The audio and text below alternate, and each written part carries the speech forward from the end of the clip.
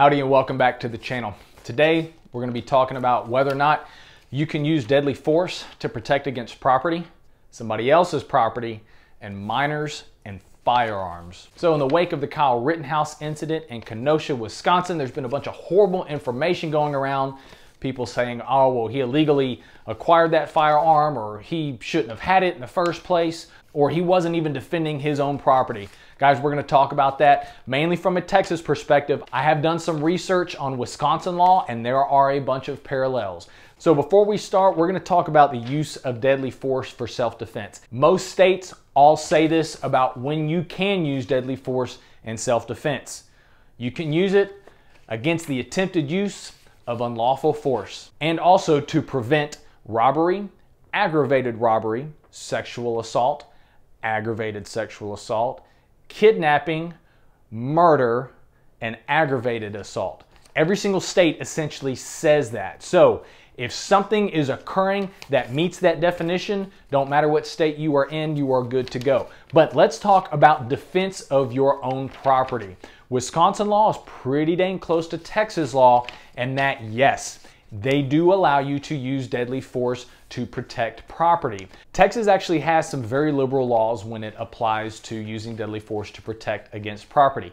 But let's talk about where they are the same. So this is what Texas reads. You can use deadly force to protect your property when and to the degree that you reasonably believe that deadly force is immediately necessary to prevent the other's imminent commission. So essentially what that means is somebody else is about to commit this act to prevent the other's imminent commission of arson, burglary, robbery, aggravated robbery, and this is where Texas is different, theft during the nighttime. Wisconsin law explicitly prohibits the intentional use of deadly force for the sole purpose of defense of one's property. That being said, if somebody's about to burn your house down, if somebody's about to burgle your house or commit robbery, then yes, you are justified in using deadly force to protect against your own property. And also, your home, your vehicle, and your place of business and employment all apply. Essentially, they are linked all together. They are all treated with the same respect. So long story short, guys, yes, you can use deadly force to protect your own property.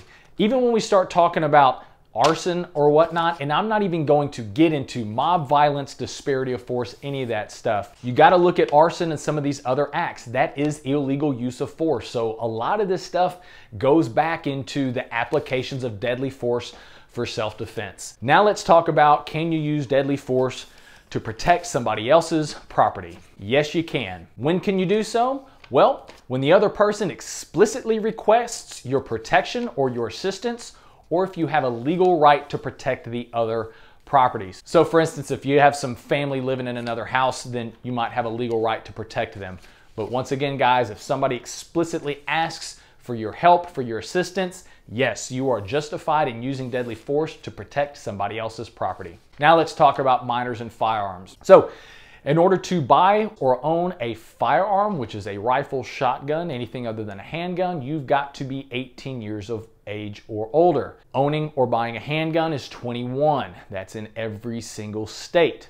Now, Texas, a minor is anybody 17 years of age or younger. Wisconsin is pretty much the same thing. They've got some different age brackets in there that allow you to do a couple more things as you get older, but essentially 17 and younger, you're considered a minor.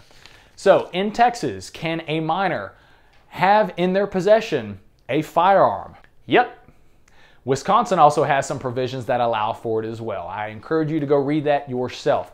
When can a minor possess a firearm in Texas? Well, when they are supervised by a person older than 18 years of age for hunting, sporting, or other lawful purposes. Other lawful purposes to me, that means Second Amendment kind of stuff. So you can interpret that however you want to. Also, when can a minor possess a firearm? If it consisted of lawful defense by the child of people or property. So in Texas, yes, a child can have access to a firearm if it meets some certain criteria. Wisconsin has a bunch of provisions in their law that allow for that as well. So if y'all want to start a debate down below whether or not you think Mr. Rittenhouse was in the wrong, if he did a great job. Guys, are we even going to talk about, regardless of whether or not you think he was in the right or the wrong, look at who he shot. Three people, one was a felon, one was a pedophile, and one was a multi-time repeat offender of domestic violence. That's pretty good target selection if you ask me. But guys, Debate what you want to down below. Go ahead and knock yourselves out. But we are in some very, very different times, very weird times right now. Like I said, I don't want to get into mob violence, disparity of force. That's a completely different video, guys. But nonetheless, watch out for yourselves, protect yourselves, protect your family, be ready if the time comes. But more important, be safe, be smart, and when you need to, be skilled.